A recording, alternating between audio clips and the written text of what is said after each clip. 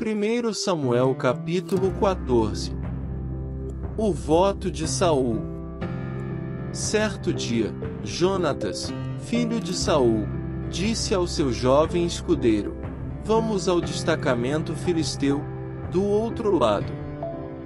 Ele, porém, não contou isto a seu pai. Saul estava sentado debaixo de uma romanceira na fronteira de Gibeá, em Migron. Com ele estavam uns seiscentos soldados, entre os quais Aías, que levava o colete sacerdotal. Ele era filho de Aitube, irmão de Cabode, filho de Finéias e neto de Eli, o sacerdote do Senhor em Siló. Ninguém sabia que Jonatas havia saído. Em cada lado do desfiladeiro que Jonatas pretendia atravessar para chegar ao destacamento filisteu, havia um penhasco íngreme. Um se chamava Bozês, o outro, Sené. Havia um penhasco ao norte, na direção de Micmais, e outro ao sul, na direção de Geba. E Jonatas disse a seu escudeiro: Vamos ao destacamento daqueles incircuncisos. Talvez o Senhor age em nosso favor, pois nada pode impedir o Senhor de salvar, seja com muitos ou com poucos. Disse seu escudeiro: Faze tudo o que tiveres em mente, eu irei contigo. Jonatas disse: Venha, vamos atravessar na direção dos soldados e deixaremos que nos avistem. Se nos disserem: Esperem aí até que cheguemos perto, ficaremos onde estivermos e não avançaremos. Mas, se disserem: Subam até aqui, subiremos pois este será um sinal para nós de que o Senhor os entregou em nossas mãos. Então os dois se deixaram ver pelo destacamento dos filisteus, que disseram: Vejam, os hebreus estão saindo dos buracos onde estavam escondidos. E gritaram para Jonatas e seu escudeiro: Subam até aqui e lhes daremos uma lição. Diante disso, Jonatas disse a seu escudeiro: Siga-me. O Senhor os entregou nas mãos de Israel. Jonatas escalou, usando as mãos e os pés, e o escudeiro foi logo atrás. Jonatas começou a derrubá-los, e seu escudeiro, logo atrás dele, os matava. Naquele primeiro ataque, Jonatas e seu escudeiro mataram cerca de vinte homens numa pequena área de terra. Então caiu terror sobre todo o exército, tanto sobre os que estavam no acampamento e no campo, como sobre os que estavam nos destacamentos e até mesmo nas tropas de ataque. O chão tremeu e houve um pânico terrível. As sentinelas de Saul em Gibeá de Benjamim viram o exército filisteu se dispersando, correndo em todas as direções. Então Saul disse aos seus soldados: Contem os soldados e vejam quem está faltando. Quando fizeram, viram que Jonatas e seu escudeiro não estavam presentes. Saul ordenou a Aías: Traga a arca de Deus. Naquele tempo ela estava com os israelitas. Enquanto Saul falava com o sacerdote, o tumulto no acampamento filisteu ia crescendo cada vez mais. Então Saul disse ao sacerdote: Não precisa trazer a arca. Então Saul e todos os soldados se reuniram e foram para a batalha.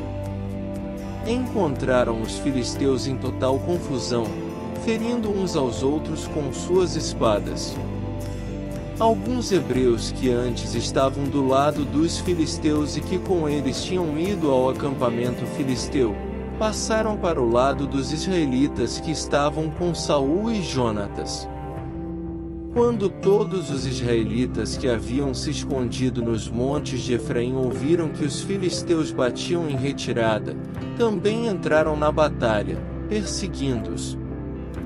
Assim o Senhor concedeu vitória a Israel naquele dia, e a batalha se espalhou para além de Bet-Aven. Os homens de Israel estavam exaustos naquele dia, pois Saul havia lhes imposto um juramento, dizendo: Maldito seja todo que comer antes do anoitecer, antes que eu tenha me vingado de meus inimigos. Por isso ninguém tinha comido nada.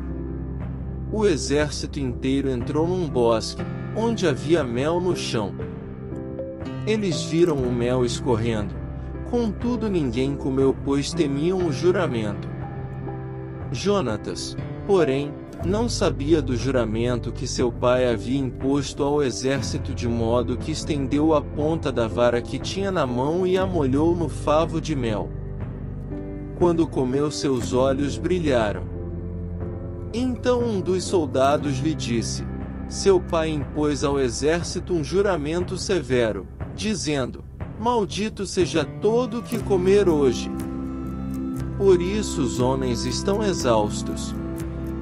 Jonatas disse: Meu pai trouxe desgraça para nós. Veja como meus olhos brilham desde que provei um pouco deste mel. Como teria sido bem melhor se os homens tivessem comido hoje um pouco do que tomaram dos seus inimigos. A matança de filisteus não teria sido ainda maior. Naquele dia, depois de derrotarem os filisteus, Desde Micmais até Aijalon, os israelitas estavam completamente exaustos. Eles então se lançaram sobre os despojos e pegaram ovelhas, bois e bezerros, e mataram-nos ali mesmo e comeram a carne com o sangue.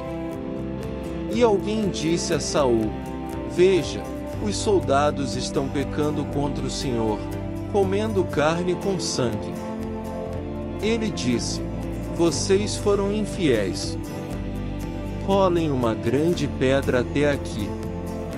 Saiam entre os soldados e digam-lhes: Cada um traga a mim seu boi ou sua ovelha, abatam-nos e comam a carne aqui. Não pequem contra o Senhor comendo carne com sangue. Assim, cada um levou seu boi naquela noite e ali os abateram. Então, Saul edificou um altar para o Senhor, foi a primeira vez que fez isso.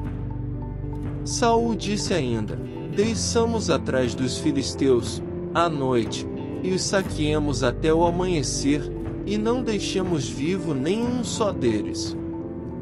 Eles responderam: Faze o que achares melhor. O sacerdote, porém, disse: Consultemos aqui a Deus. Então Saul perguntou a Deus: Devo perseguir os filisteus? Tu os entregarás nas mãos de Israel. Mas naquele dia Deus não lhe respondeu. Disse então Saul: Venham cá, todos vocês que são líderes do exército, e descobramos que pecado foi cometido hoje. Juro pelo nome do Senhor, o libertador de Israel, mesmo que seja meu filho Jonatas, ele morrerá. Mas ninguém disse uma só palavra. Então disse Saul a todos os israelitas: Fiquem vocês de um lado, eu e meu filho Jonatas ficaremos do outro.